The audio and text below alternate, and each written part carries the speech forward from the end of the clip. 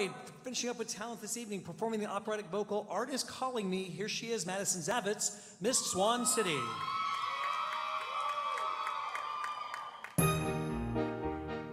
Mama is a queen and Papa is a king.